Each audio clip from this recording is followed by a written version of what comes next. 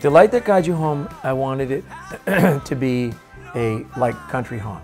So, you know, I've always loved country honk, taking a honky tonk woman and making it a barroom fiddle song. And, uh, and that one, so that one was entirely dependent on Annie being, you know, driving it with the, with the fiddle. So we had to, we had to take that rock out of it to, to allow the fiddle to drive it.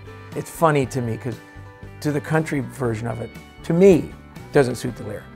The lyric is more rock. It's such a swaying country song. And I guess in the same way that country honk doesn't suit the lyric, doesn't suit the lyric of being dragged up by a prostitute to, to be defiled.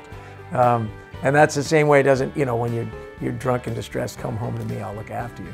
That's it's not exactly what the music is saying, but I guess that the contrast is kind of nice too.